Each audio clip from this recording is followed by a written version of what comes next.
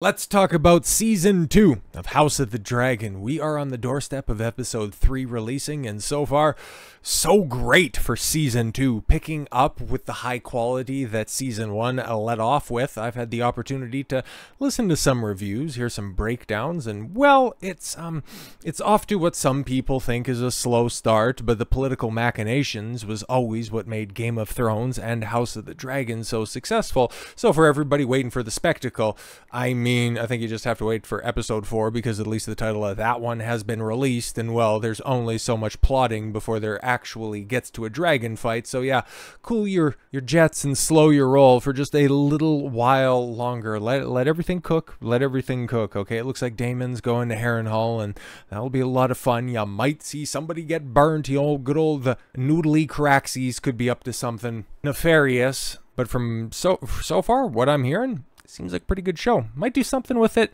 Might do something with the season when things really start to pick up or at the end of the year. Not entirely sure. I don't really have a reliable way to watch it outside of, you know, sailing around with Corlys and watching it via those means, but I don't really want to do that. While we normally talk about TV shows and production companies that produce bomb after bomb, this is one of those rare opportunities where we can go ahead and talk about something being an overwhelming success with a bit of an asterisk, okay? So House of the Dragon Season 2 was Max's biggest streaming day ever. Okay, that's fantastic. Season 2 of House of the Dragon is basically Alicent Hightower asking, Y'all want to hear a story about why me and this princess fell out? Kind of long and full of suspense.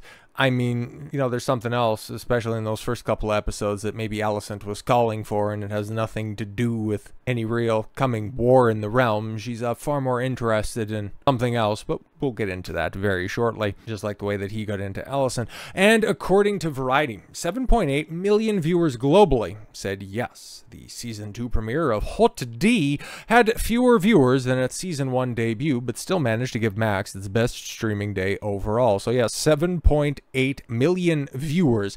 This isn't some funky math with minutes watched or just simply being trumpeted as the best original programming released on a Sunday at 7 o'clock. No caveats, no nothing like that. 7.8 million viewers. It is down, like it's saying, okay? Which is you know, managed to give Max its best streaming day overall, which is especially good for such a, yeah, no, child eating heavy first episode, and then the second episode was the fallout of that, where it's like, whoo, lad, there's a, there's a bunch of stuff on display, okay? It was also Warner Brothers Discovery biggest season 2 streaming premiere in Europe, where Max only recently launched. Yeah, okay, cool. The superfluous numbers. House of the Dragon premiered in Oh, with 10 million viewers in 2022, peaking with episode 2 at 10.2 million viewers, which, uh, outside of episode 9, which is the obvious pick for worst episode of the season, which, surprisingly, episode 9 was written by the same person who just wrote episode 2 of season 2, which is widely regarded as one of the weakest episodes. So it's not bad by any means, but Sara Hess is just not that great.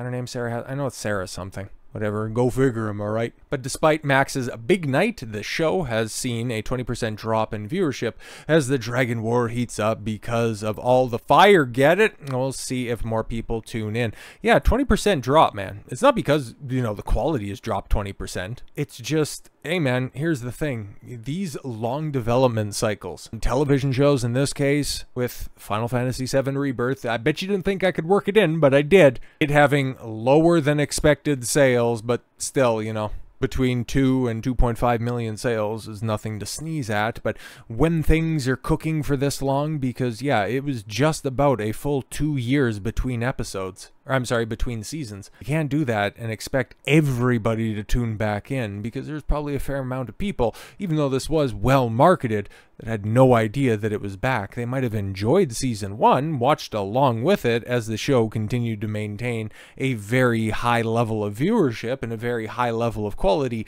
episode 9 aside.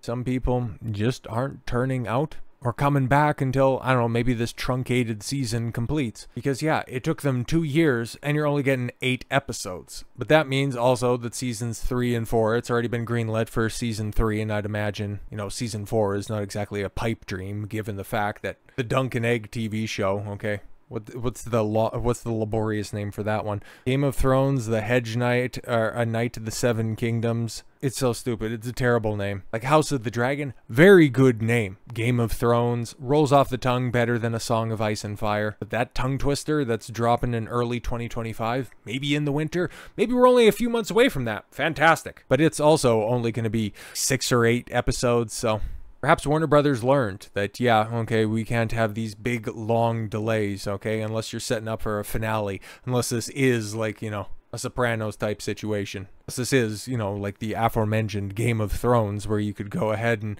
take a long time setting up season 7 and season 8. Again, doesn't denote quality, obviously, but it does generate quite a bit of hype. So yeah, shorter development cycles lead to higher viewer attachment. We agree with that? Can we finally get around to that? Okay, AAA gaming industry, movie making in general, can we can we figure that out? Lower budgets, quicker turnaround time. I know we're asking you to do more with less, or maybe, I don't know, just do more with what you're already getting, which is ridiculous, okay? Because you got eight episodes of The Acolyte over there on Disney Plus for $180 million. Jesus. As much as season one of House of the Dragon, by the way, which you got 10 episodes for that were at, at least 45, 50, over an hour long as opposed to 26 minutes with the acolyte. But I digress. This isn't just simply taking a dump on Disney, even though it's funny that, you know, the acolyte and House of the Dragon are coming out at the same time. But it's not all roses, okay, because there's some freaks that are out there.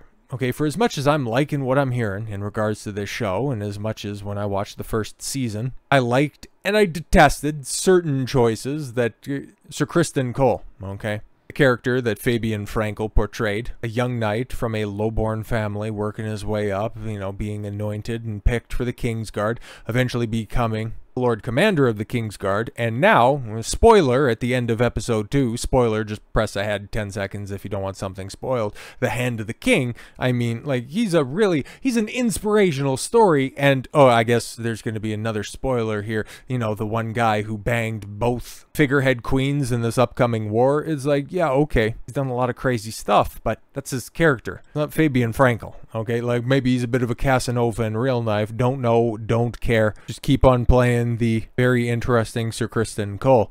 But now, yeah, uh, now why are you guys attacking a very nice Fabien Frankel on Instagram? What's this you guys thing? Okay, and I got the Mary Sue pulled up because I want to see how they reconcile this. Because here's what's going on, right? Okay, Fabien Fabien Frankel had to limit his comments on Instagram due to harassment he has faced since House of the Dragon season two began. It's interesting, right? Because yeah, he's got just Instagram post him and his very good-looking King's ar- or Kingsguard armor. Okay, high quality stuff that they have over there at Warner Brothers, right? But there you got there you got the comments. Okay, I wish you were heir to the throne. Uh, where were you when the heir to the throne was murdered? Well, um, you know exactly where he was. If you were watching the episode, I hate you. Okay. How did you go from being the most liked character and become the worst character in Game of Thrones history? Man, I hope somebody jumps this guy. I hate you, Criston. Comments on this post have been limited. And you take a look at the profile pictures every single time down there, and well, why is it always women who are doing this stuff? Okay, because uh, us racist bigots who have the audacity to simply say that, hey, the Acolyte or maybe the Kenobi show were incredibly poorly written, like we'll, we'll get slings and arrows thrown at us for our arguments about the quality of writing maybe the performances from certain actors. We also get told that we attack people and harass people on the internet, but whenever asked for receipts, they always seem to come up empty, but when they do get provided, well, they just end up looking like this. I'm sure that if Fabien was the type of person to spin it as, oh, I got death threats online, you could take that fourth comment and spin it in that direction. Why is nobody calling out these toxic fans? Oh, Oh, okay, I guess I know why, but let's see if the Mary Sue has any answers to this. I'll leave it up to the most toxic side of the fandom to ruin something we love. Rachel. Rachel Leishman, the idiot that had the audacity to call Nerdrotic's understanding of Doctor Who lore into question, okay? Say the toxic side of fandom, okay? I thought, like, this is the Mary Sue. You're supposed to be a supposed to be a pro-feminist side of this, okay? What, what are you calling all your? Are you calling the sisterhood toxic? Come on. Fabien Frankel is a very sweet and nice man who brings Criston Cole to life on House of the Dragon. While many of us have been joking around about how Cole acts uh, on the series, fans have turned to harassing Frankel about it. He's done some flumpy stuff that he didn't end up getting you know, reprimanded for. Kind of caved in the face of a highborn male, lord from another family, and didn't end up facing any repercussions for it. Very strange or how he also sat a master of coin down so hard he ended up dying. Like uh, it's very, very odd, but okay. Most recent episode of House of the Dragon saw an uptick in fans talking about Ser Criston or Ser Criston Cole. While I thought it was all in good fun at the beginning with fans joking about his actions, it has clearly gotten out of control. Frankel has reportedly limited his comments on his post after fans flooded them, writing to him as if he is Criston Cole. Which I, would you call these fans? I just thought that these would be the toxic hate mongers. Where's the where's the vitriol, right? Like these are the same types of people that would go after Kelly Marie Tran for her depiction of Rose Tico in The Last Jedi, or those same racists that went after Moses Ingram for portraying Reva in Obi-Wan show. Where's that same vitriol this time around for the people attacking Fabien Frankel? Uh, knowing that Frankel uh, was being harassed on social media has ushered in support from fans who can recognize a fictional character and an actor playing them are not, in fact, the same person. Just keep this article in mind the next time, which also looking over and seeing a bunch of, you know, acolyte type articles, just just keep this in mind right now, the way that they handle the, peop- the people attacking Fabien Frankel and the way that I don't know, the Mary Sue defends Amanda Stenberg's goofy diss track for the bigots, homophobes, sexists, and any other ists and phobes that I've uh, left out, even though she is nowhere near the top of the list of the reasons that that show sucks. It is honestly upsetting that Frankel has gone out of his way to limit the replies on his posts. Social media is a great way for actors to connect with their fans. I just haven't really seen that happen all that often. You can share their, uh, who can share their love and support for a piece of art, but now people could not figure out fiction from reality. That is gone for Frankel or Frankel.